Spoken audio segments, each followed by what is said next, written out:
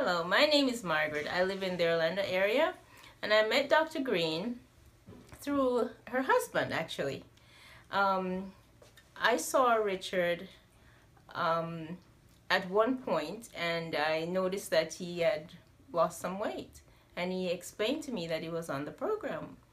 And I said, well, you got to tell me what program that is. And one thing led to the other. I joined the program and I am happy to say I'm very pleased.